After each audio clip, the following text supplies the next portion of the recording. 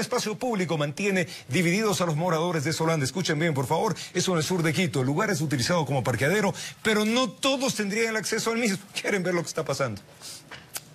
Este espacio público ubicado en el sector 1 de la Supermanzana 3 de Solanda Sur de Quito se ha convertido en la manzana de la discordia. Un grupo de moradores aparentemente se apropió del lugar e impide que otras personas puedan parquear sus vehículos le rayaron, se tomaron el parqueadero, pusieron números y tienen dueños que uno no puede parquearse donde quiera porque viene el dueño y le manda o si no le rompen las llantas o le raya el carro. El señor guardia que ellos manifiestan que, que promulga con eh, seguridad aquí al parqueadero toma con los eh, señores de, aquí, de los que lo roban, de los que se drogan.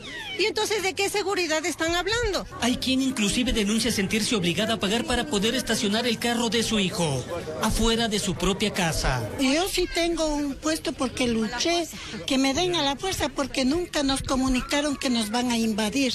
Nos invadieron una noche y no es la primera vez, ya es la tercera vez que nos invaden.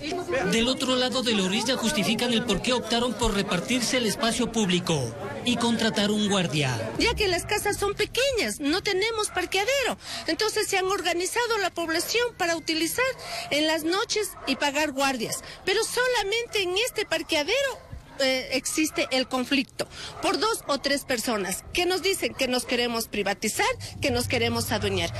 Cuentan que el lugar era invadido por la delincuencia y que gracias a la organización erradicaron el mal.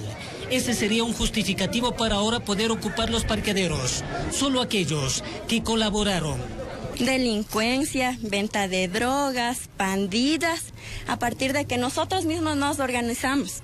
Ya empezamos nosotros a hacer guardias, los vecinos mismos. Entonces, eso fue radical y dejaron de venir. Pero organizando y colaborando.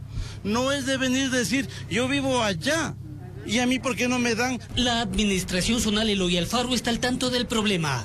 Ahí se nos informó que de acuerdo a la ordenanza municipal artículo 6, los parques, zonas verdes, vías, parterres y demás espacios que tengan carácter de bienes de uso público no podrán ser cerrados o amurallados en forma tal que priven a la población de su uso, disfrute visual y libre tránsito sin autorización municipal, informó Héctor Romero.